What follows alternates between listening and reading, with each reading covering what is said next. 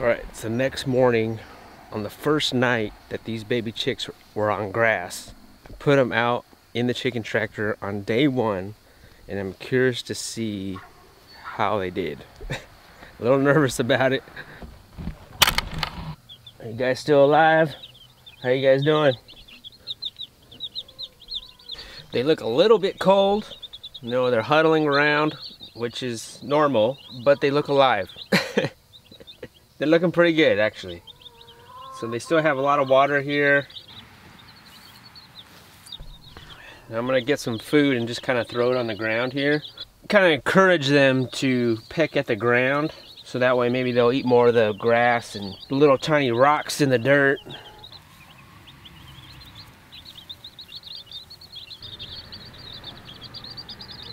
But it's important to put these chickens out on the grass outside as early as possible. I just wanted to try if I can do it on day one. The weather was perfect for it, so I'm stoked that it actually worked. and they seem to be doing really good.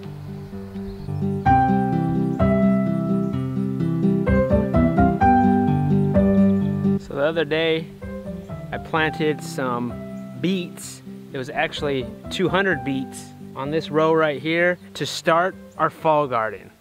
I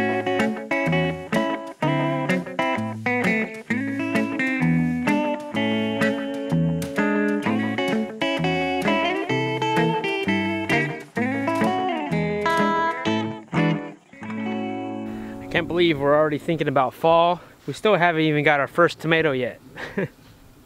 but we're already planting and thinking about it and we got some seeds. I'm starting to see leaves fall.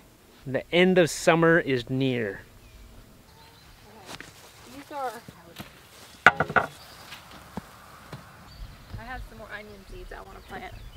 All right, since we got fall on the brain, we're gonna attempt to grow some seeds in some of these trays that I built. And if you've been watching any of our videos, you will know that we are not good at starting seeds in trays. It just doesn't work for us. But we're gonna give it another shot.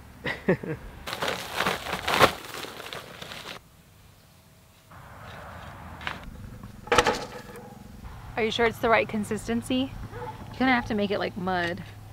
Or like it has to be like formable. That might be, that might work. All right, the key to this soil block is to get a good consistency with this soil so that way it's com more compact. So we need our um, professional mud pie maker. Penelope, you gonna help us out? Yeah.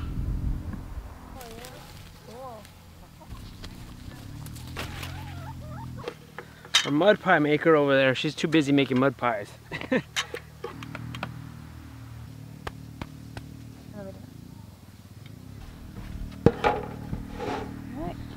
See if that's the right consistency.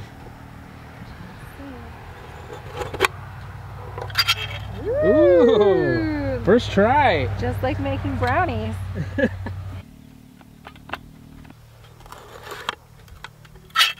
so these should fit like six of these rows on each one.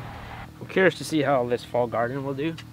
I think it'll be great. Uh, we never do we never do good with fall gardens.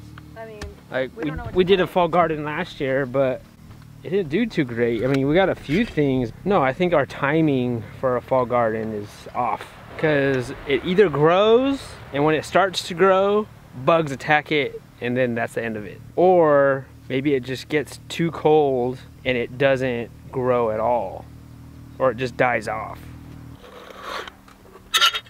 It's gotta be the right consistency. Penelope, we need a professional mud pyre. What are you doing over here? Let's see. What are you doing? I'm making paste. Mud pie paste? We're gonna finish the seeds. Get over here when you're done. She loves her mud pies, for sure.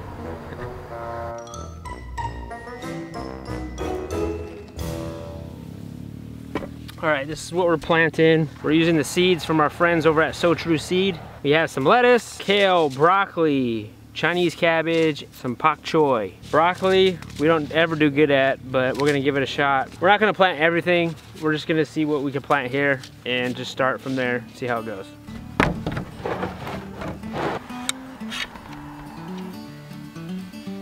These are broccoli seeds.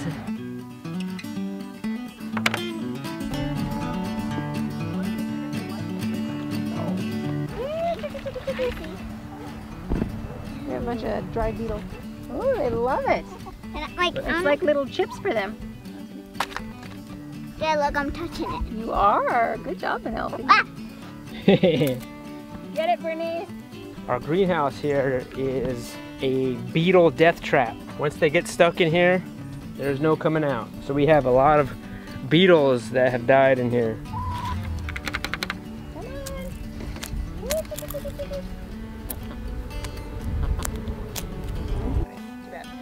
picked it first. This is what I do when I want ice. I pack it in there. That might be good. Look at I packed it in there. I remember. That's pretty good. That's a good job, Penelope. Give me some. Boom. Oh! We're not going crazy with the seeds because I don't even know if this will grow. I think it's the timing of everything that we're not sure of in the fall.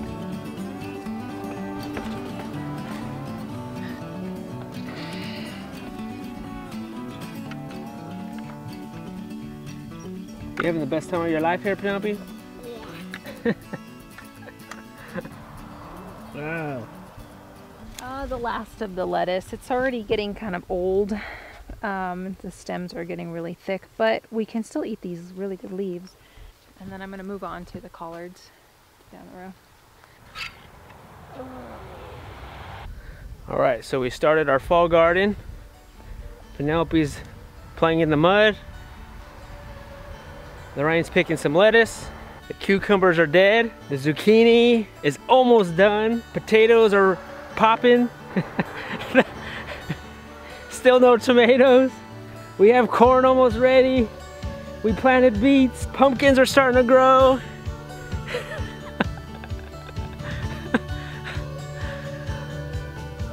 Another beautiful day on the homestead.